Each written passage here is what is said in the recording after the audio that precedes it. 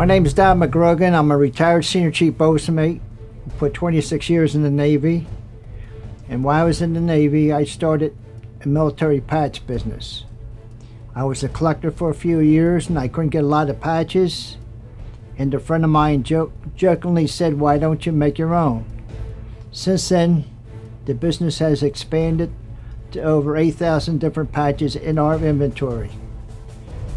My goal, one of my goals in uh, life is to get the designs for every U.S. military patch that was ever made. And I'm going to try to make every one of them also.